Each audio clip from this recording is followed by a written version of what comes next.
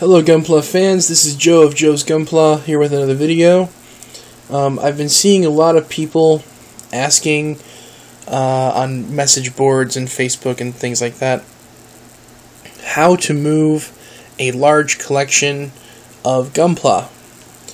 Um, now I would consider a large collection anything over like 30 kits because you've got a lot of boxes. Um, but uh, for those of you who, who don't already know, and I'm sure most of you do know, I have a current collection of over 400 models. Uh, and the last time I moved, I was around maybe 350 or so. Um, so I have quite a bit of experience uh, moving a large collection of kits. And uh, I can safely say that the last time I moved, as a matter of fact, every time I have moved, um, I have not once lost a kit. I have not once lost any parts, and I have not once uh, had anything break. So uh, I've been pretty successful with moving a large collection. Um, so I just wanted to go ahead and explain uh, my method of moving Gunpla. Uh, before I get started on that, though, I want to stress that um, if you are very obsessed with your models. Um, if you care a lot about them, uh, and I know some of you, some of you are, some of you aren't as obsessed as I am with your kits. You know, a lot of us will view our kits not just, of course, as toys. Everyone knows they're not toys, but um, and sometimes they're not even just models. A lot of times they're works of art. You know, to whoever built them. So, you know, you've put a lot of money into the kits and the supplies. You put a lot of time and effort and creativity and work into these kits. You want them to survive the trip. Okay. So, don't let some mover move your models. Don't expect them to take care of your stuff.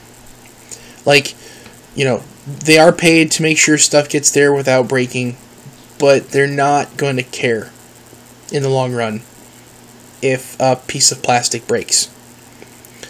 Um, I would even go so far as to say don't even trust your friends and family to move your kits. Because they're not you and they don't understand. They don't understand that connection. Um, last time I moved, the only other person I trusted to move my kits was my fiance, and that was only because number one, she has built models and she understands, but number two, she knows how much they mean to me. Um, and she was also under my watchful eye the entire time. Um, if she had lost or broken anything, there would have been a fight.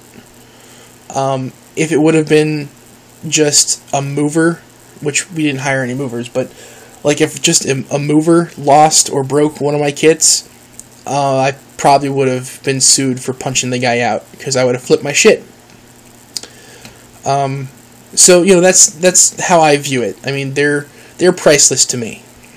So move your own kits. I would suggest putting them in your car that you are driving. Um, if you happen to be driving the moving truck, then put them in there with you, or uh, I'm going to say pack them last. Because you want them right at the end where you can grab them first and go put them away.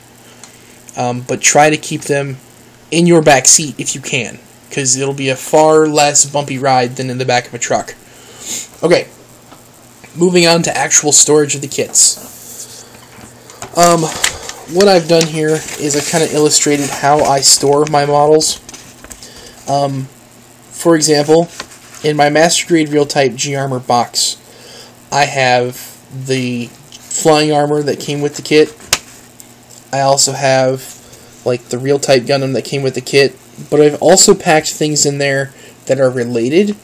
So I'll have like Gundam 1.0 Gundam 1.5, Gundam 2.0, and then the G3 1.0, and then the G3 2.0, and then like all the accessories. I just recently started doing this. I didn't do this last time I moved. Um, but I've just recently started going through and bagging all the accessories according to kit.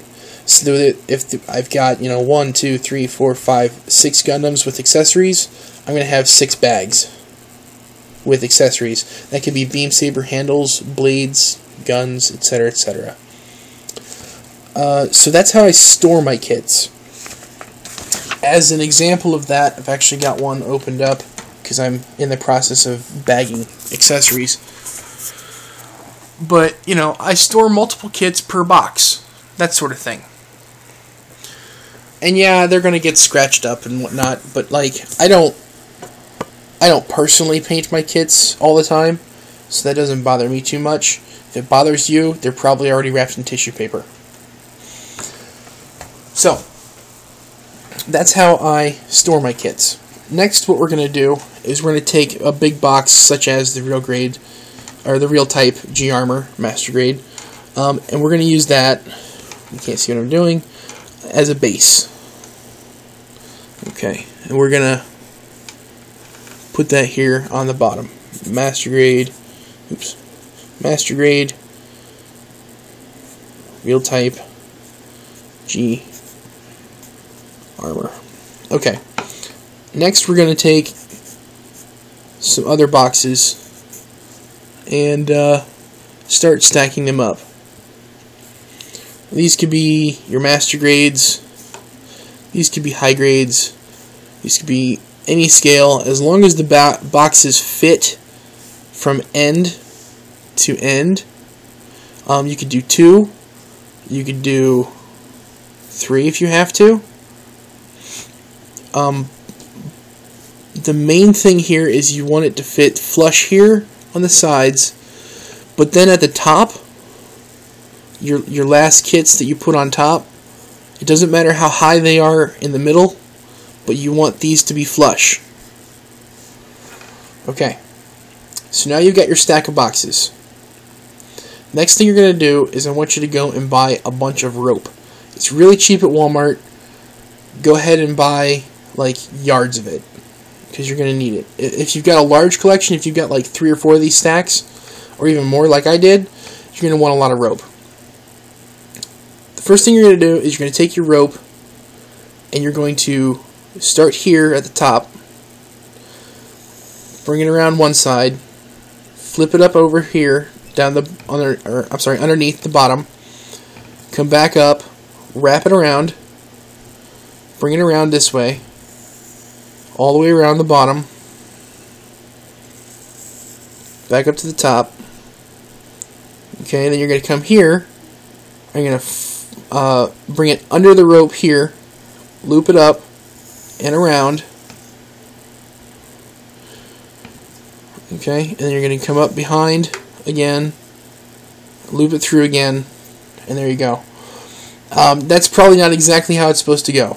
I'm going to link in the description to uh, a knot tying website that is going to show you how to bundle like books or something like that. But the same concept applies.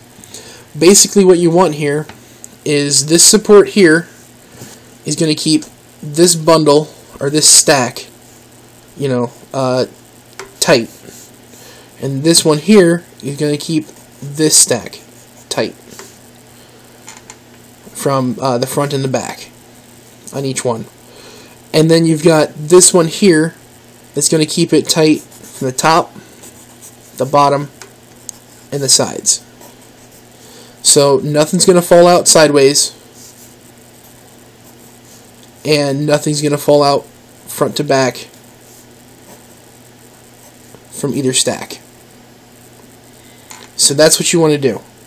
And these bundles, because they've got a rope here, they're easy to carry. You can carry two at a time bring them downstairs if you're on the upper floor apartment like I was, and uh, put them in the backseat of your car, and you're good to go. Um, the nice thing about this is you're not going to lose a little box if you've got this all bundled correctly. Um, you know, you're not going to have one box fall out and get lost or stepped on or whatever in the move. Because it's a lot harder to lose a big bundle of boxes than it is to lose one or two individuals. So I hope this helped. Um, if you have any other questions, you know, leave a comment below. Um, and I would just like to say good luck with your move if you are in the process of moving. And until next time, happy building and please drive safe.